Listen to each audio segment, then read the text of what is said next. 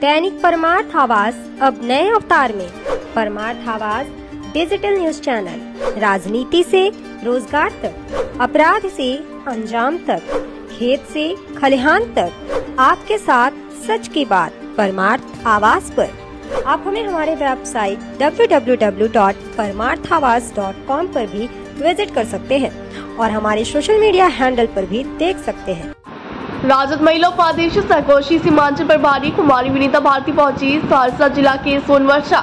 आपको बता दें, महिला प्रकोष्ठ राष्ट्रीय जनता दल सोनवर्षा सहरसा के संगठन विस्तार एवं नागरिक अभिनंदन समारोह आयोजित। कार्यक्रम की अध्यक्षता सोनवर्षा प्रखंड अध्यक्ष श्रीमती रूबी कुमारी ने किया।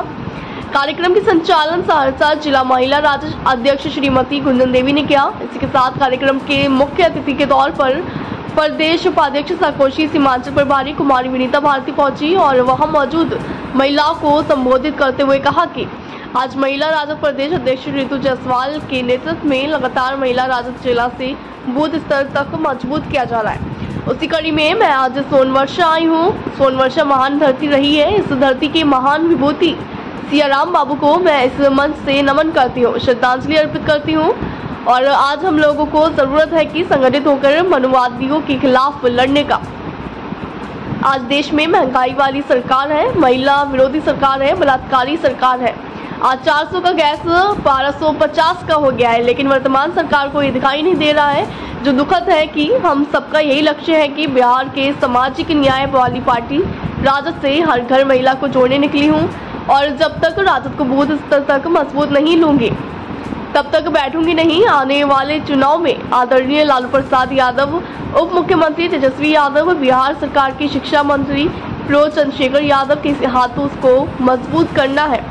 और 2024 और 2025 में महागठबंधन जो अब इंडिया बन चुका है, उसकी सरकार बनानी है।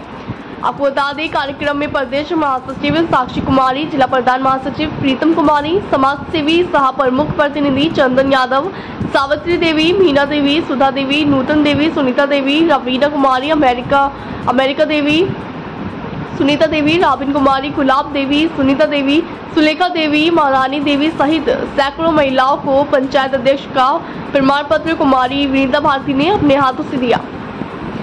ब्यूरो रिपोर्टर रामानंद कुमार की खास रिपोर्ट।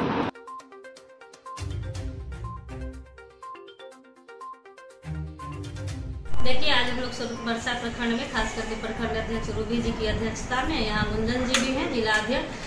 और यहाँ रूबी जी, बहुत ही कम समय में संगठन के लिए जो काम की है, खास करके मेरी बहुत सारी बहनें आप भीड़ देख रहे होंगे, जो दिन रात पार्टी के लिए काम करती है, महिला प्रकोष्ठ में महिलाओं को जोड़ने का काम कर रही है। और हम लोग के जो प्रदेश अध्यक्ष है ऋतु जायसवाल जी, उन्होंने जो एक मुहिम छेड़ी है कि महिला संगठन में किस तरह आधी आबादी महिला राजनीति में भागीदारी में आगे आए तो ये काफ़ी सराहनीय है। महिलाएँ दिन रात एकत्रित होकर के काम कर रही है, संगठन को मज़बूत कर रही है और आने वाले 2024-2025 में इन भाजपा इस महिला विरोधी सरकार को मुँह तोड़ जवाब देंगे और इंडिया हम लोग की गठबंधन उनकी सरकार बनेगी। कुमारी विनीता भारती प्रदेश उपाध्यक्ष।